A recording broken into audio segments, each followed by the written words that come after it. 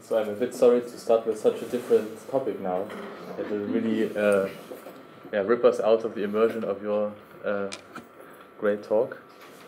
Um, yes, I'd uh, like to thank you for coming and uh, especially staying here uh, to hear my talk.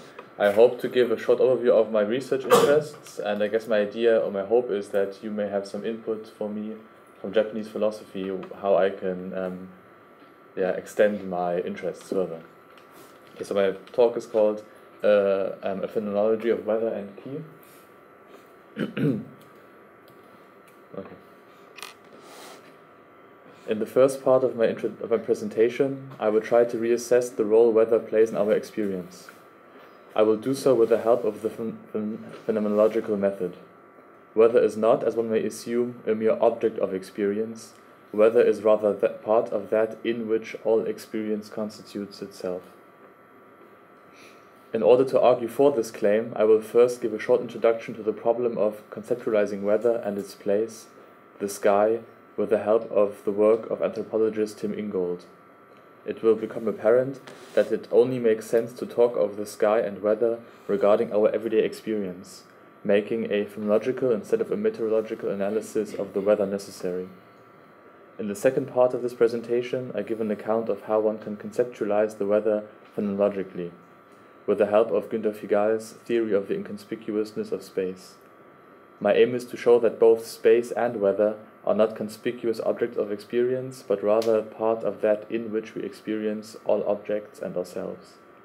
By way of concluding, I hope to show that weather is not the sum of things we can point to outside our window, it rather plays an essential role in constituting our being and our self understanding. With the help of both Ogawa Tadashi and Hisayama Yuho, I further hope to show that the interrelatedness between ki and weather. Ogawa writes, quote, The phen phenomenology of ki and wind elucidates the fact that ki fills the body and flows over the world at the same time. Hisayama Yuho's description of weather experiences and experience of ki in his recently published dissertation, Experiences of Ki, Embodied Sphere, Atmosphere, Pansphere, will further illuminate our interrelatedness with weather. Hisayama proposes an interesting approach to the untranslatability of ki. Let us not ask what ki is, but how ki is experienced. I hope that my ideas on the phenom phenomenology of weather and Hisayama's thoughts on weather and ki provide an informative starting point for a further polylogue on atmospheric phenomena. I should say, all works except uh, Ogawa Tadashi's paper are in German, and then just the translations are my own. Um, yeah in case there are errors there, it's probably maybe the translation. Okay, so this is the what I just said. Uh, my my basic overview. So part one: problems conceptualizing the sky. In his paper Earth, Sky, Wind and Weather, Tim Ingold invites us to ask how we experience the sky, the place of weather. To this end, he turns towards research being done in developmental psychology, where the question is being posed how children learn the shape of the earth. There are, according to researchers, two basic mental models of the Earth. The Earth either appears as a flat or spherical surface. These models correspond to our everyday experience um, and Earth as seen from space. So left is a picture of a black forest, um, fittingly, and on the right hand side is a very generic picture of Earth. Once a child has learned that the Earth is spherical, an interesting question arises. Said researchers ask one such child, Ethan, who has already acquired the correct spherical model of Earth, to draw a picture of the Earth. So he draws the picture. Ethan then proceeds to draw a rough circle on a piece of paper. When he is then asked to draw the sky, he answers, quote, The sky has no shape, you mean space.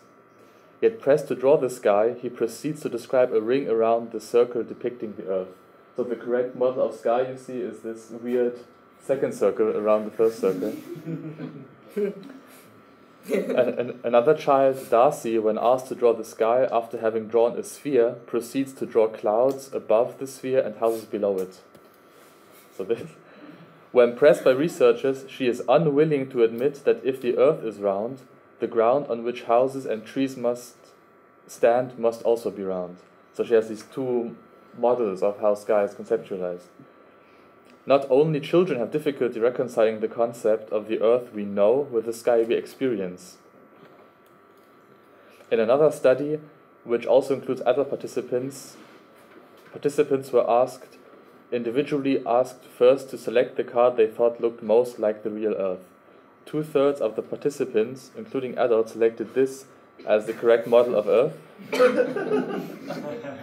the authors of the study conclude that this indicates a scientific understanding of Earth.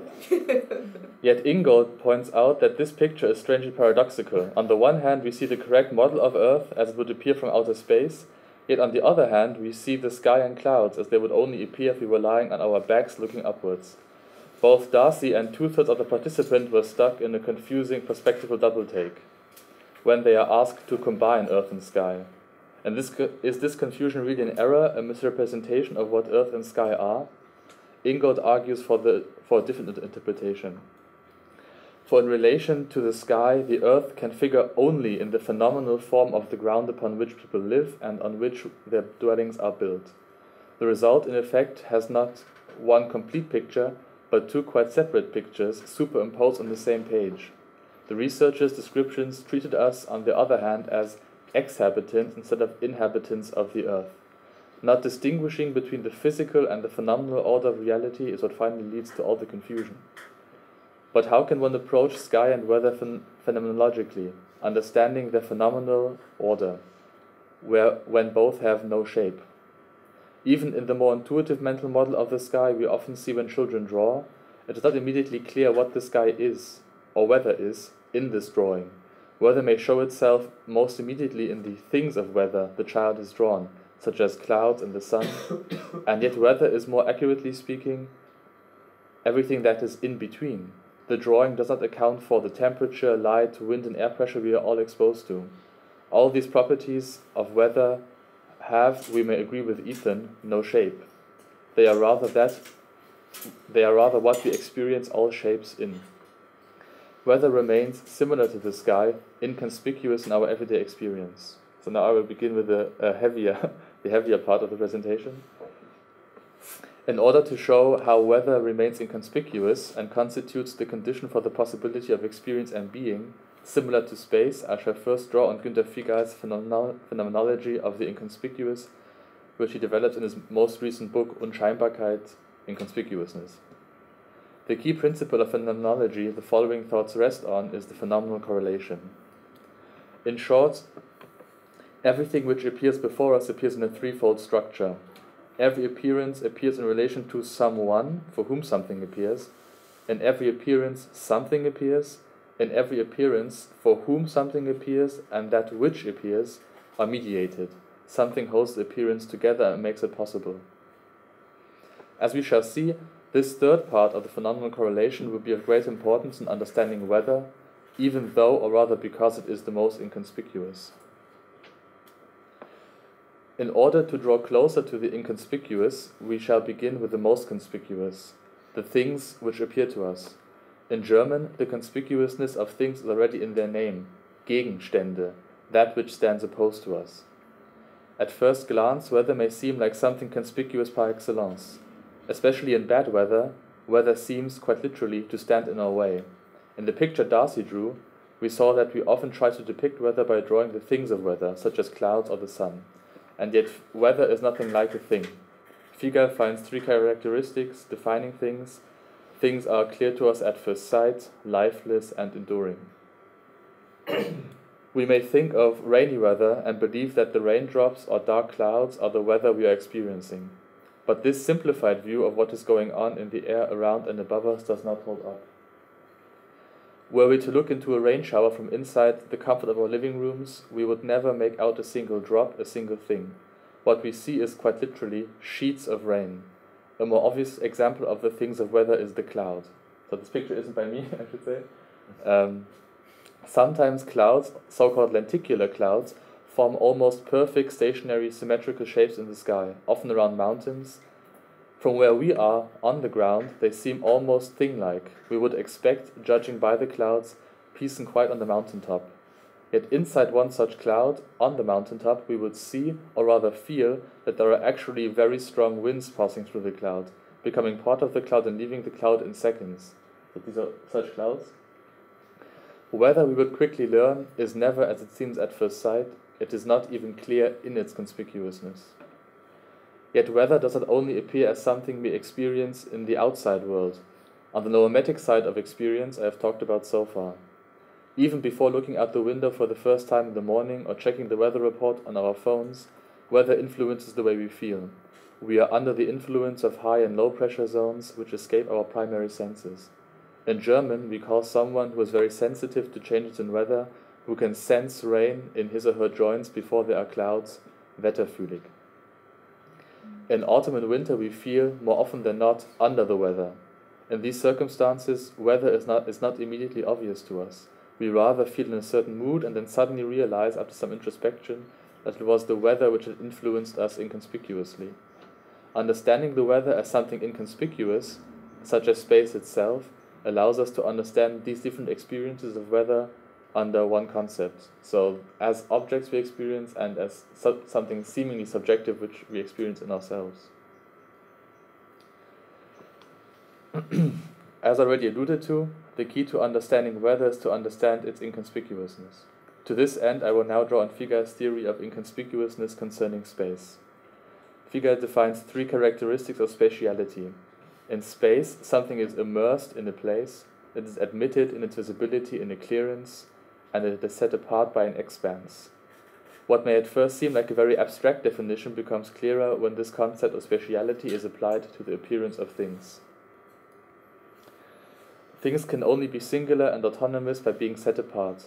They can only be so easily accessible as they are because their self showing is admitted, and one can only refer to a thing because it was immersed here in a place, in a clearance, in an expanse which separates it from other things and from the living beings which refer to it. Space here appears as the condition for the possibility of the appearance of things. Since space is the condition for said appearance, space itself does not appear in the same way as things do. Space appears with the things which are in space. Understood this way, space is not invisible or a mere pure form of intuition, as Kant says, space is inconspicuous. The role of space and its inconspicuousness for our experience becomes clear when we think of built spaces, rooms.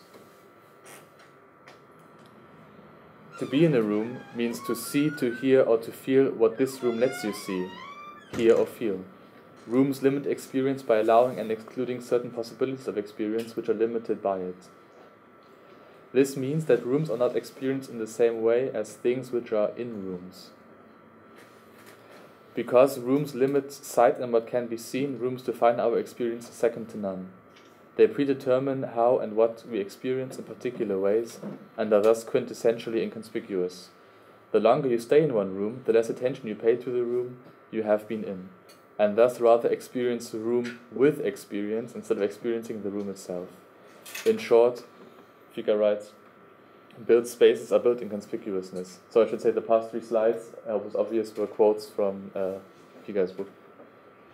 If we recall the aforementioned phenomenal correlation, it becomes evident that space is neither something which appears before or which comes from inside of us, but is rather something which allows things and ourselves to appear, which holds this appearance together. Thus, nothing we experience is outside of space. We ourselves are not inside trying to relate to an outside, but we are rather always already outside in space, which is not only the condition for the possibility to relate to things, but also to ourselves. So, to put this another way, we are not a room for ourselves. Um, we are always already in this kind of exposed um, condition. When we think of built rooms and buildings in which said rooms are,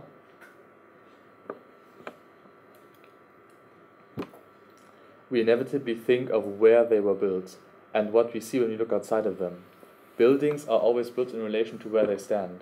Edward Casey writes in Getting Back into Place that within the ambience of a building, a landscape becomes articulate and begins to speak in emblematic ways.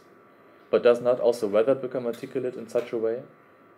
Most obviously, the outside of a building visibly accounts for the weather it is exposed to. But even from the inside, the rooms we live in carry signs of the weather which surrounds the rooms and buildings.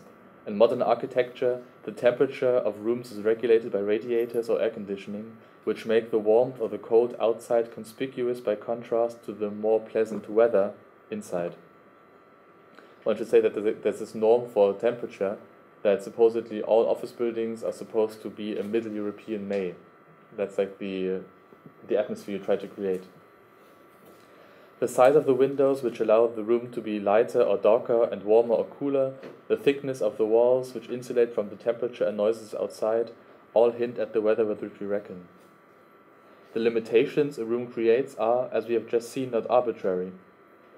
A room limits our experience in relation to the weather outside. Inside the room, we already have an intuition of what lies outside. The inconspicuousness of the room, which is the precondition for our experiences in said room, is interwoven with the inconspicuousness of weather. In a sense, the room and buildings we move through in our day to day lives are mediating our experiences of the outside world in varying degrees of inconspicuousness. When we do go outside, we understand that weather does not only partially define the limitations of a room, but also limits our experience in a similar way as rooms do. A rainy and foggy day can greatly decrease our field of vision, so that we see less than on a sunny day. In a sense, the experience of everything is limited by the weather we find ourselves in. Everything outside appears wet, cold, and slippery in the rain. During daytime, the gloomy light of a rainy day falls into our rooms, changing our experience and of our intimate spaces and at times forcing us to turn on artificial light. Even in the nighttime, the drumming of the rain on our roof not only reminds us of the weather outside, but also lends its sound to the rooms itself in which the rain echoes. Both the world outside and our rooms inside are experienced in a different light, often literally, in virtue of current weather. On such a gloomy and rainy day, weather is not as inconspicuous as it usually is, but even on a sunny or unremarkable day, weather defines our experience inside and outside in much the same way. We have not only gotten used to, we have only gotten used to said weather, thus allowing the weather to become more inconspicuous, as with rooms we have gotten used to. We are thus always under the influence of weather in varying degrees of inconspicuousness. Ingold, the person from whom I borrowed the studies earlier, brings further light to our experience of the weather by describing the difference between earth and sky, landscapes, and weather. He explains we experience landscapes by experiencing surfaces, by seeing, hearing, and touching things, whereas weather is rather an experience of light, sound, and feeling itself. Ingold writes Perceiving the landscape, then, is a mode of observation, perceiving the weather is a mode of being. In weather, we experience what allows things to appear. Again, Ingold writes Strictly speaking, the weather is not what we have perception of, it is rather what we perceive in. This in turn explains why the children in the aforementioned study were so perplexed by the question to draw the sky. It is not an object of perception. I would like to summarize before going on to my um, the Japanese philosophy part of my presentation, just uh, what I've said this far, thus far. I would like to summarize how space, room, and weather seem to be linked with one another. Space shows itself as a place, clearance, and expanse. Rooms, then, are phenomena of space. Rooms become their own places, clearances, and expanses. Weather is also a phenomena of space. Weather creates or recludes places, clearances, and expanses. It not only changes how things can be experienced, but can, can make experiences themselves impossible when catastrophic weather limits our ability to move. We can never see rooms and weather as the conditions for the possibility of our experience fully even if we back into the corner of, our, of a room, some room is still behind us. But rooms can be left, weather cannot. We are always inside the weather, unable to view weather from the outside. Even if we see rain in the distance slowly approaching, we can only see the rain in virtue of the clear weather with, which allows us to see so far. It also proves difficult to hide from the weather, since the air pressure leaks into any room with even the smallest opening and even the rooms we try to hide in are themselves media through which we experience weather. Thus, weather seems to be an almost as inescapable seems to be almost an almost as inescapable condition for the possibility of experience or being as space itself. To be subjected to and immersed in such inescapable atmospheres is also the underlying theme of Ogawa Tadashi's and Hisayama Yuho's quest thoughts on ki. As if to caution anyone who attempts to construct a theory around ki, Ogawa writes in his paper Ki and the Phenomenology of Wind. The range of senses of the, senses of the word ki is actually vast. It is not easy to grasp the essence of ki, for it is ambiguous. You will see that ki fills in both an individual body and all that is in between heaven and earth. So, you know, it's a huge um, category to to somehow explain. Ki thus denotes phenomena such as air, weather, climate, and atmosphere, as well as moods. The interrelatedness of these seemingly different aspects of Ki becomes most apparent when the atmosphere seems to be filled. Sorry. The interrelatedness of these seemingly different aspects of Ki becomes most apparent when the atmosphere seems to be filled with a feeling that permeates us, such as when we speak of a tense atmosphere. In a more bodily sense, this permeation takes place incessantly with every breath we take.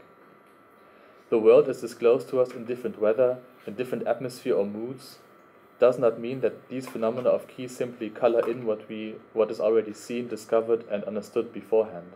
The opposite is true. It is a key phonological insight that moods and atmospheres are what open up the world to us.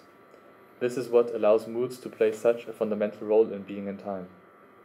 Without them, nothing would matter to us. The following abstract and concrete descriptions of ki tie in nicely with what I have said about the weather so far. So this is from Ogawa's paper. The atmosphere or ki has no identifiable point or place in space. It overflows and spreads out over the world as a whole to the very end of the world. Atmosphere grasps the human being at the root of his being. The root of his or her being is the body as a limited place of atmosphere. Then he goes on to write if you have ever experienced the summer in Kyoto, you have only to remember the oppressive weather at the end of a rainy season just before the height of summer. This weather, heavy weather, comes from heat mixed with humidity. This oppressive weather, together with our bodily states, gloominess, crushes everyone's spontaneous will. Ogawa finally also draws the conclusion that it is only through such atmosphere, atmospheres that we can perceive the appearance of world and thing. So now just um, one more page. Yuho Hisayama, he wrote his dissertation in Germany on um, ki and phenomenology. I think it hasn't been translated into English yet. It's only in German. He begins his interpretation of experiences of ki by pointing out that the term seems to signify something often considered to be two different types of experience, namely our inner feeling as well as the outer atmosphere. Ki seems to name something that lies between subject and object. This leads Hisayama to conclude that ki is an alternative concept to what Hermann Schmitz has called the singularism and constellationism of Western philosophy, which tries to understand world in terms of singular things that add up to more complex structures. Hisayama tries to account for different instances of ki with the help of spheres. Ki, in terms of spheres, is a spatial phenomena, yet these spaces are no less felt than seen. In order to draw closer to experiences of ki, Hisayama differentiates, as the title of his book suggests, between the sphere of embodied experience, atmosphere, and pansphere. Mm-hmm. According to Hisayama, our embodied experience and our experience of atmospheres can be felt in varying degrees of consonance or dissonance. Experiences of grief may take the form of something that tinges our whole embodied experience or may fill a room where a wake is being held. That these different spheres exist becomes most apparent when we experience incommensurability between our embodied experience and the atmosphere around us. Someone who is scared of flying, such as myself, is often not only distressed by the fact that she is flying, but more disturbingly by the fact that everyone around her is behaving so nonchalantly about being trapped thousands of meters above ground in a metal tube.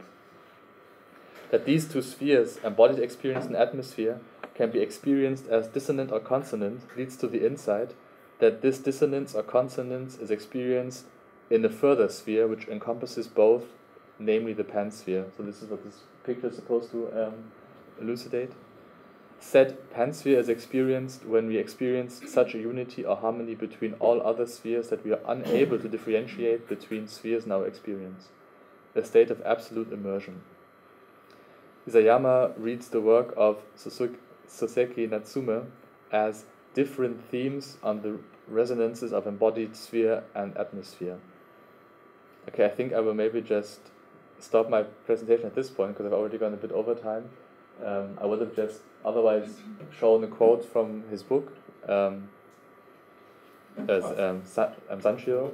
Yeah, why not? So it's maybe a nice ending. So this is the no. So um, Murakami points out in his introduction to uh, um, um, um, Sanshiro that it's interesting that in this book people keep looking at the sky, whereas in all other books their characters seem to be forced to look at the ground and to be confronted with their own problems and so on. So this is just this is Murakami in the uh, in the introduction to this book, which I will just yeah.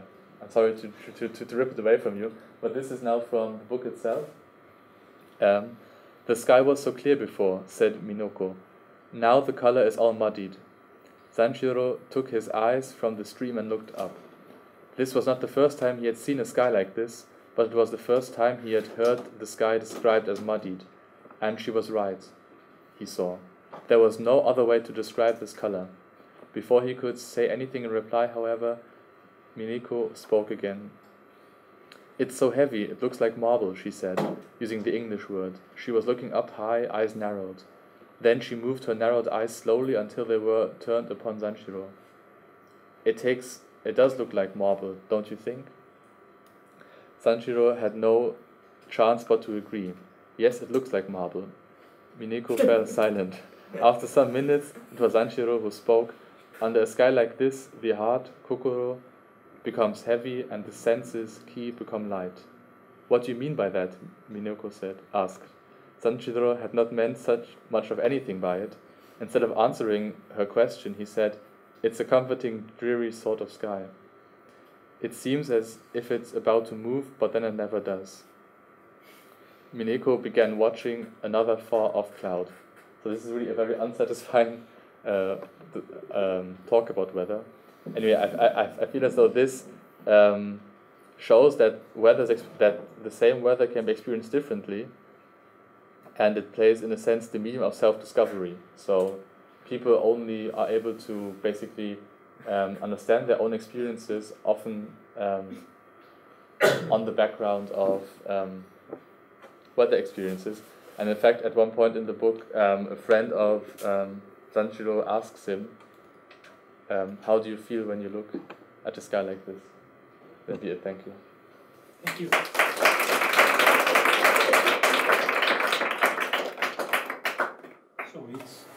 20 past 5, but I think we can stay maybe 3 4 minutes for a couple of questions.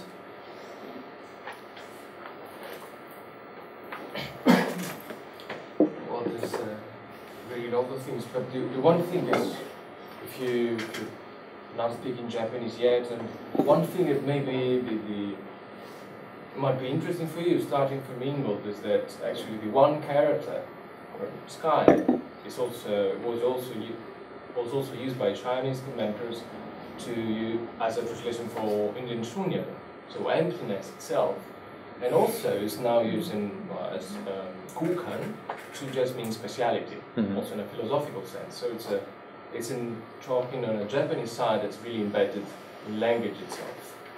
Then there's um, uh, there's could be really a lot of we did with very similar topics, but we were, we were talking about rooms. That's that's a one room inside, and about weather. There's something in between rooms and weather at large, or space, or even and there's landscape. That's a category that is sort of lacking Mhm. in. It's particularly lacking this sort of unconspicuous air-like landscape Mhm. uh, because we the one, the one way we talk about panorama scenery, so something visible or the shape of the land. The, the air is sort of illuminated.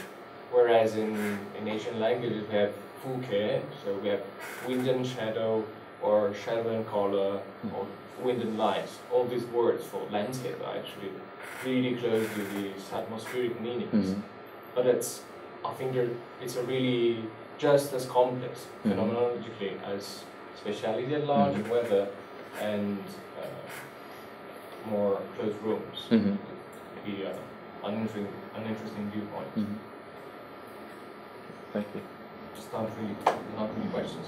No. I think I'll ask you afterwards for the for the names and so on. Uh, thank you for your um, excellent talk. Um, I'd like to uh, ask if you would like to develop this idea with uh, Watsuji Tetsuro's uh, uh, uh, concept of Fudo, or it is translated as a climate Yeah. in English. So, but it is a kind of problem because uh, I think climate, uh, or uh, rather, you know, uh, weather related concept, it is not Watsuji's idea. So, what would be your your um, thought about you know if you have to develop this idea with Watsuji? So I mean, the, the I, I got the idea from Watsuji. So during my undergraduate degree, I I was lucky enough to have a course on Fudo, and that's where I and his critique of Heidegger's spatiality is what kind of brought me into trying to think of the pheno- phenomena more uh, better, I guess. But I was then soon disappointed in the actual uh, phenomenology of weather phenomena, which is, you know, in Fudo a bit lacking because that obviously isn't his main his main point but the introduction to Fudo, where he describes um, how what is code as a subject or object and so on, that seems very very interesting. Um, so I, that I would definitely affirm if I if, if I were to continue my, my research on this, and I also think that there's there must be some link between understanding weather phenomena phenomenologically, accounting for atmospheres, and then accounting for climates. It just seems to be so. It will be I guess like an extension um, of these phenomena to to, uh, to higher levels. But speaking uh, phenomenologically, if you don't know what rain is as a phenomena, you can't speak of monsoon climate. I would say so. That would be maybe useful to to to build it very slowly, I guess. Last. Uh, I wonder how one takes account of natural catastrophes within this framework of weather. I mean, especially if we're talking about Japan, there's a very strong consciousness of that. I mean, just flying over here, I finally watched Kimi no Na wa, and I, I didn't know, I didn't read a synopsis about it before, so I was surprised when, I won't give anything away, but a natural disaster plays a very big part in that. So, Yes, so I mean that's like the the other really interesting part of the whole weather phenomena that speaking in a um, in a in a, in a um, being in time framework, he also talks of natural catastrophes. He says there are things which are meaningful and meaningless. So, for example, something can be meaningless because it doesn't matter, but it still has meaning in the sense that it it has no meaning to me, but it's still assigned a meaning. And then he has this other category, the unmeaningful. So something which can never have meaning, and something he what his example is is I think natural weather catastrophes, and that there's this whole element of even if I can account for atmospheric phenomena phenologically, weather and these catastrophes especially as strong phenomena of weather point to the fact that this whole element of nature as something which I'm confronted with, which has to be accounted for in like a more active way, maybe. So yeah, but I mean to be honest, I chose weather as a topic on purpose because it is not so negative. So I can talk about sunny weather and rainy weather, and everyone's you know still feeling good. Whereas usually in in phenomenology, you are often like after five slides, you're already in death and illness and sickness, just to get to the phenomena, just to say, you know, all things become anxiety discloses everything, and that's just I mean it's maybe right, but um, yeah, I, I feel that this is something positive in this this approach that you don't have to. It's to. uh, training that stick to the weather. Yes. Okay, thank you very much. Uh, and maybe questions can be done maybe outside. Or, oh, I don't know. Last, last, last. I'd like to ask one, uh, please, because uh, it relates to what Shosan asked. Uh, Watsuji's book was originally translated in English as uh, climate and culture. And I wonder whether or not in your theory culture plays a role because you are talking about inconspicuousness of climate of element. When Watsuji is talking about climate, all not, always the element of, of culture comes in because we understand ourselves in climate, we disclose ourselves in climate, and we act in response to that. Um, so we build dams or we are building houses or something like that. And maybe what you would say, and here he brings into a very questionable and problematic typology of climates in the Mm. plural. Um, my question is, if you would uh, accommodate the notion of, of culture into your phenomenology of climate, would that be the next step to accept this questionable typology of climates? And this is a very long, sh- long, sh- long shot indeed. But how would you argue to escape the obvious the deterministic uh, trap? And this was in Oldcover's quote as well. Mm. He says the oppressive atmosphere crushes our will, like there is a uh, representation of cause and effect. And the language is really tricky here. So do you have some thoughts about these issues, culture, climate, have an appointment. types of climate, cultural determinism of climatic change? Yeah, I think um, so. I think it's actually not that difficult of a, of a, of a problem. So I would just disagree with Watsuji's claim that consciousness becomes conscious in a climate. I think that goes much too far Mm. in, in describing the necessity of climate. And by uh, what I wanted to do with the Sanshiro quote was to show climate is just a medium of self-understanding, and in that sense, you can have a weather climate, and it makes sense that people who live in the desert as a as a climate zone have I don't know wear a lot of cloth because it shields from the sunshine or whatever, and these are all things, but they don't they don't determine them. They just are agents in themselves, which look in the world for kind of mediums of self-experience. Um, and one of these, apart from all other cultural aspects, natural aspects, is weather, and these are their reactions. But I mean, in this way, you can also account for how different cultures arise in the same climates, because it, it they just have diff- they just basically their the way they understand the weather they are in and their self-reflection is different, and there's like no determinism. I would say it's more like inspiration, maybe. Thank you very much. Sorry.